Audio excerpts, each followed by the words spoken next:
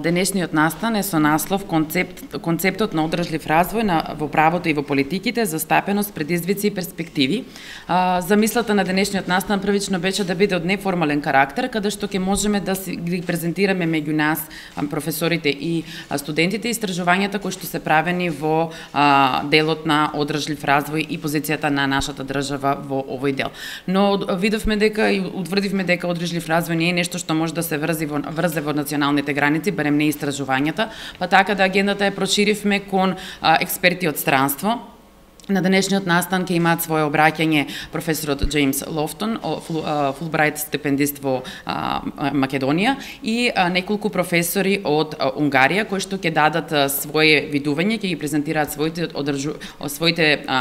а, истражувања во областа на одржлив развој врзано за а, право на здрава животна средина, одржлив развој во дигиталните а, дигитална средина, понатаму во внатрешните работи на Унгарија и во правото на вработување и одржливиот развој во работните односи и така натаму. Значи ние како факултет од секогаш сме застапувале идејата да ги а, а, истражуваме актуелните теми, да дадеме простор а, каде што студентите ќе може да се изразат израз, изразат во, и да ги презентираат своите истражувања, да ги формализираат. Се надевам дека од овој настан ќе излезе и една conference proceedings во која што ќе останат запаметени за секогаш нашите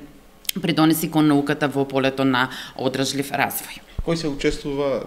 од факултети или други партнери? Од факултети, значи од правниот факултет при Универзитетот Гоце Делчев во Штип има неколку професори кои што ќе учествуваат во на денешната на денешниот семинар. Исто така има еден докторант од Машински факултет од Универзитетот Кирил Методи во Скопје, Фулбрайт стипендистот стипендистот професорот Джеймс Лофтон, кој што е стипендист Фулбрайт стипендист на Штуловиот универзитет во Македонија и и имаме професор, неколку професори од Универзитетот Мисколц од Унгарија.